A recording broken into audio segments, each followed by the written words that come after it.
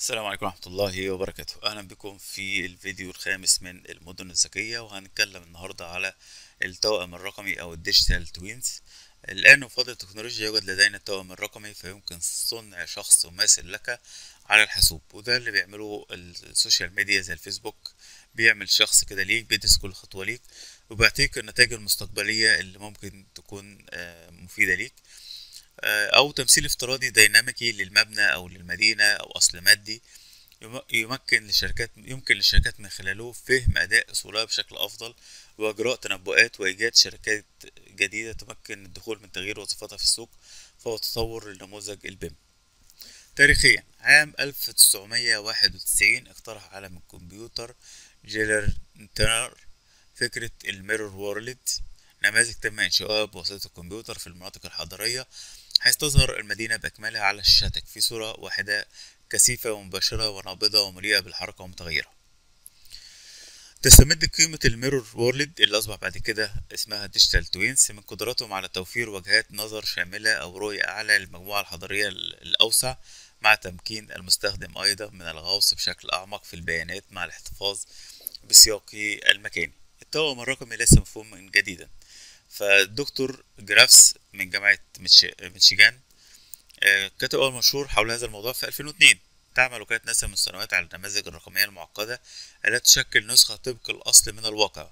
وعندما ضربت الكارثة أبولو 13 اللي اتعمل عنها فيلم استخدمت وكالة ناسا أنظمة النسخ المطابقة اللي هي قبل التوأم الرقمي لحفظ مهمة أبولو 13 وفي الوقت الحالي استخدم وكالة ناسا التوأم الرقمية لتطوير توصيات جديدة وخرائط مسارات والجيل التالي من المركبات الفضائية. مثال يوفر فيلو من CACA هذا النوع من الاستبصار من خلال دمج خريطة مخصصة ونظام التضاريس مع نماذج ثلاثية الأبعاد مفصلة للمباني التي يمكن تقديمها ديناميكيا من قاعدة بيانات مخصصة. بالشكل دوت. يعمل التوأم الرقمي كجسر بين العالمين المادي والرقمي باستخدام أجهزة استشعار لجمع بيانات في الوقت الفعلي حول عنصر مادي. ثم يتم استخدام هذه البيانات لإنشاء نسخة مكررة من العنصر مما يتيح فهمه أو معالجته أو تحسينه. digital twin بصفته نسخة طبق الأصل للبيئة المادية يمكن استخدام التوأم الرقمي بطرق متقدمة لأتمتة الأنظمة وتحسينها وتوصيلها ناهيك عن تمكين الناس في البيئة المضمنة وبعبارة أخرى التوائم الرقمية هي شريان الحياة الجديدة للمباني الذكية في المستقبل. توفر نمذجة معلومات البناء منصة مهمة لهذه الثورة البيئية المبنية لكل بنية فيزيائية يتم إنشاء التوأم الرقمي digital twins عندما يتقاطع هذا النموذج الافتراضي مع التخصصات الأخرى. مثل تحليلات البيانات وتتكاثر إمكانيات جديدة للابتكار وبفضل انخفاض أسعار التكنولوجيا على شكل أجهزة استشعار منخفضة التكلفة وأجهزة متنقلة بأسعار معقولة فإن وتيرة الابتكار تتسارع. وفقا لتقرير آه، جارتنر الأخير فإن اتجاه التوأم الرقمي يقترب من من ذروة التوقع في غضون خمسة إلى عشر سنوات من المتوقع أن يصل الاتجاه إلى هضبة الإنتاجية شكل ثلاثة التوائم الرقمية digital twins هي تمثيلات رقمية لأجسام العالم الحقيقي ومبنية على مفهوم أن نماذج الأصول الافتراضية تتعايش وترتبط بأصول حقيقية. بعض الشركات تستخدم بالفعل التوائم الرقمية فهي تساعد على التحقق من أصول العالم الحقيقي والتنبؤ بالنتائج المختلفة بناء على البيانات المتغيرة مما يؤدي إلى تحقيق وفرات في الصيانة. يجب على المزيد من الشركات إظهار الاهتمام والاستثمار في هذه التقنية. تقرير جارتنر أعلى عشر اتجاهات تقنية الاستراتيجية لعام 2019 يتنبأ بحلول عام 2020 نتوقع أن سيكون هناك أكثر من 20 مليار جهاز استشعار ونقطة نهاية متصلة وستوفر التوائم الرقمية للملايين من الأشياء المحتملة وتشمل فوائد تحسين الأصول والتميز التنافسي وتحسين تجربة المستخدم في جميع الصناعات تقريبا. بحلول عام 2021 الكثير من الشركات الصناعية الكبيرة ستستخدم التوائم الرقمية مما سيؤدي إلى حصول تلك المنظمات على تحسن بنسبة 10% من الفعالية. تتوقع شركة جارتنر أنه بحلول 2021 تم استخدام نصف الشركات الصناعية الكبيرة digital twins لتحسين نتائج البحث والتطوير وهذا يسمح بتحقيق ضربة فعالة بنسبة 10% في قطاع العقارات. سوف يساعدك التوائم الرقمية قريبا في الهندسة المعمارية والبناء في النهاية أضافت التوائم الرقمية قيمة لكامل دورة حياة العقارات. افترض أن شركة digital twins العقارية ستستخدم أيضا السنوات الخمس العشر القادمة لتحسين أصول إدارة أصول العقار ومرونتها وموثوقيتها وكفاءتها. التوائم الرقمية تتمتع بدورات حياة طويلة مثل المباني والطائرات والسفن والمصانع والشاحنات والآلات الصناعية حيث تمتد دورات حياة هذه التوائم إلى ما أبعد من طول عمر برمجات التصميم المسجلة والتي تم على الأرجح استخدامها في إنشاء هذه التوائم ووسائل تخزين البيانات. يمكن للتطورات التكنولوجيا المساهمة في مستقبل العقارات والمجتمع ونوعية الحياة. يملك القطاع العقاري الهولندي القدرة على اتخاذ قفزة ليصبح بيئة معيشية متقدمية دولية وواحدة من لبنات البناء. لجعل هذه القفزة هي الطاقم الرقمي يستخدم القطاع العقاري نماذج ثلاثية الأبعاد الرقمية منذ 2000 نحن نعلم الآن أن تكلفة الفشل أثناء عملية الإنشاء قد انخفضت بفضل التعاون بين عدة تخصصات. التطور نحو التوأم الرقمي. لإطفاء الحيوية على الأشياء العقارية يمكننا تثبيت أجهزة استشعار متعددة يمكن جمع البيانات منها ويمكننا قياس أداء المبنى باستخدام خوارزميات التعلم الذاتي الذكاء الاصطناعي وتحليل البيانات لحل المشكلات وفي وقت أقصر وخفض التكاليف يتحول مبنى إلى مبنى ذكي ذو قيمة مضافة كبيرة. التوائم الرقمية أيضا تمكين الخطوة التالية وهي التطوير نحو المباني سريعة الاستجابة والتي ستلبي احتياجات ورغبات المستخدمين في الوقت الفعلي. ويتم استخدام الإحصائيات من تحليل البيانات في المباني سريعة الاستجابة تلقائيا لتحسين أداء المستخدم. على سبيل المثال التحكم في التثبيت استنادا إلى مستخدمين محددين وتمكين الخدمات وإرشادهم بشكل استباقي. للمستخدمين. تساعد التقنية الرقمية المزدوجة للشركات العقارية على فهم احتياجات العملاء بشكل أفضل مما يسمح بإجراء تحسينات أكثر ملائمة على المنتجات والخدمات ونماذج القيمة للتحسن بشكل كبير من تجربة العملاء. وبمجرد احتضان التكنولوجيا بالكامل يمكن أن يتغير تركيز الشركة وبنيتها بالكامل ويقضيان على الأدوار القديمة وإنشئان أدوار جديدة واحتمل أن يولد تدفقات جديدة تماما للإيرادات. نحو الإنترنت للتوائم الرقمية.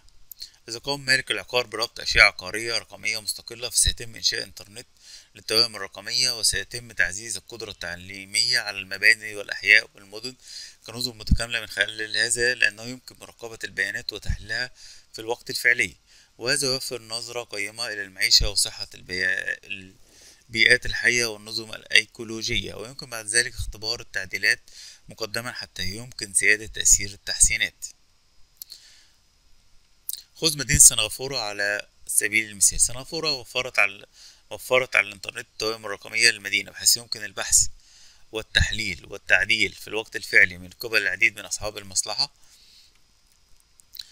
الستوك هولدر من كل من الجهات العامة والخاصة من خلال التنبؤات الأكثر كفاءة ودقة للتجارب المستقبلية ويمكن لسنغافورة أن تتوقع بشكل أفضل تخطيط الموارد الطبيعية أو تقديم الخدمات والمساهمة في نوعية حياة التجارب حياة أكثر استدامة. سنغافورة كمدينة افتراضية هتعاون بين القطاعين العام والخاص مما يتيح للمدينة إعادة ابتكار نفسها.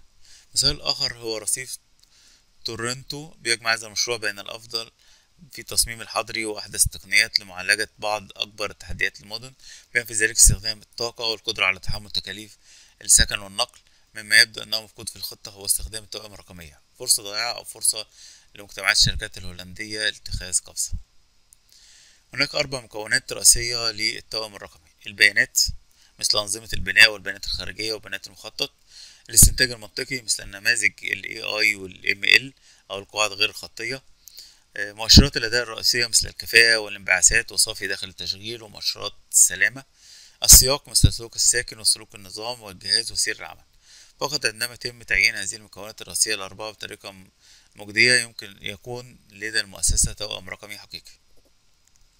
مزايا استخدام التوائم الرقمية في البناء. الاستخدام الصحيح للتكنولوجيا يجعل العمليات دائما أكثر كفاءة. على سبيل المثال التوائم الرقمية. من خلال السماح لعمليات المحاكاة بإمكانية تحمل الضرر الناجم عن الكوارث الطبيعية والكوارث التي من صنع الإنسان يمكن أن تساعد المواطنين على العيش حياة أكثر أمانا.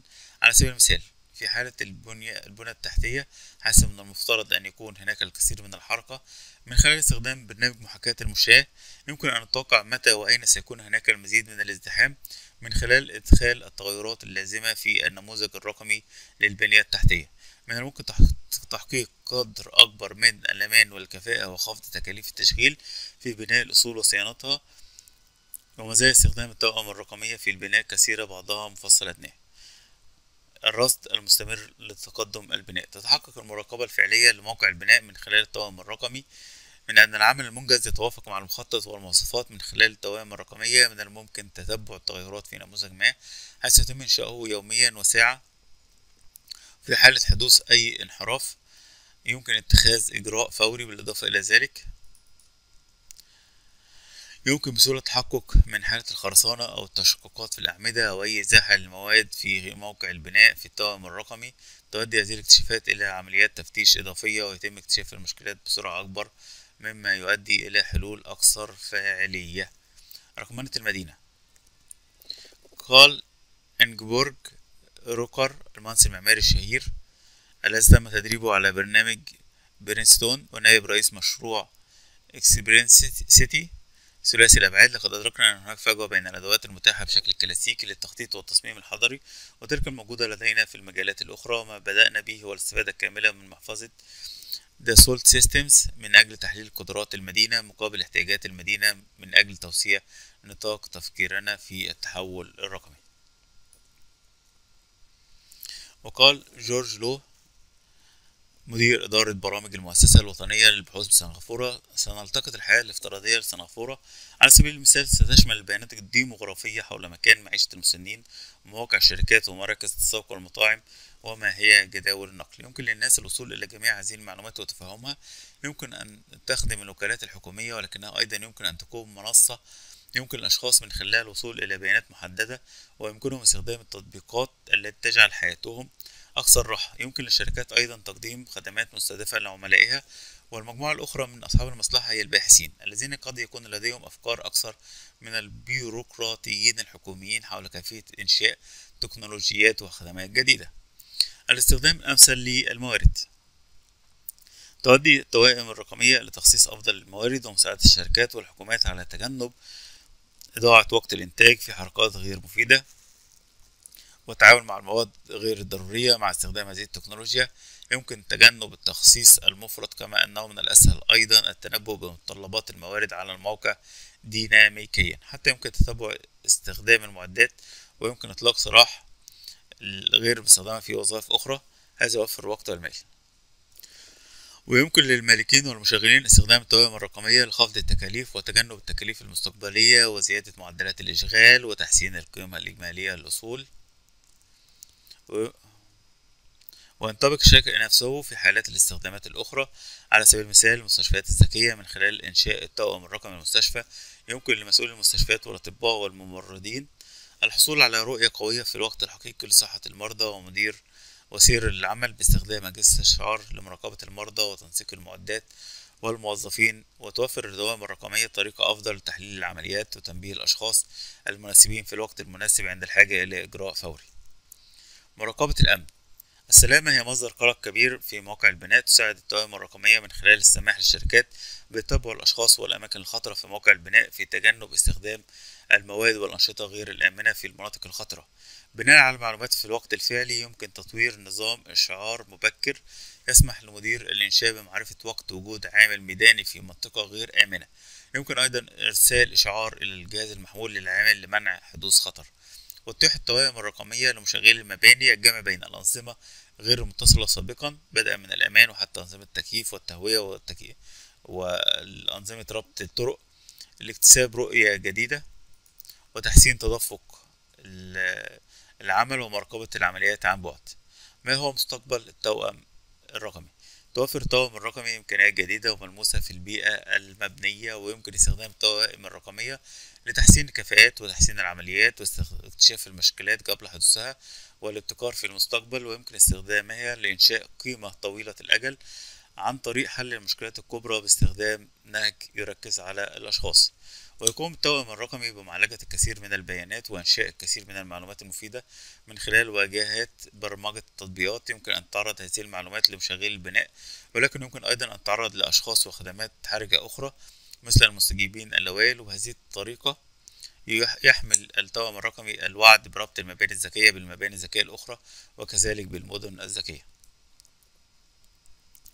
أصبح التوأم الرقمي حقا شريان الحياة للمباني الذكية إنهم يفتحون مستقبل إنترنت الأشياء ويمكنوا من مستقبل العمل الجديد. إذا كانت مؤسستك مهتمة بإنتاج نتائج أعمال فائقة وتجربة مستجرة ملهمة فإن التوائم الرقمية تستحق الاستكشاف.